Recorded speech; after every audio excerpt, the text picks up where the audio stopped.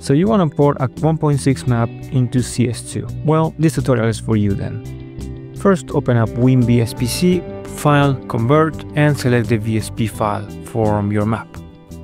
Select the folder in which you want to extract it and tickle map. As for these three boxes, I don't really care because I didn't find them useful at all. Hit OK. Now you're gonna open Jackhammer, go into File, Open, and you open up that map file selecting Half-Life map. Go into File, Save As, make sure you're saving as a VMF. Close it. Now you're gonna launch Counter-Strike 2 tools and you're gonna create a new add-on. Give it whatever name you want, in my case text16 will do. Open it and you're gonna move your VMF into the folder of this add-on. On the asset browser, launch Hammer, File, Open, Source 1 Maps, VMF, open it up.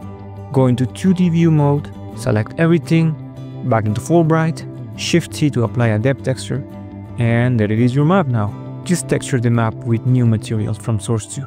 Now, most of the entities are broken, are obsolete, so you're gonna have to replace them. Go into this page, so item 4, this corresponds to a AK-47. Now with the player starts, it's the same thing. Info player start is actually info player terrorist. And do the same thing for the CT entities that are also obsolete. Add an env_sky to your map. And we no longer need a skybox, so you can completely delete all of the roof.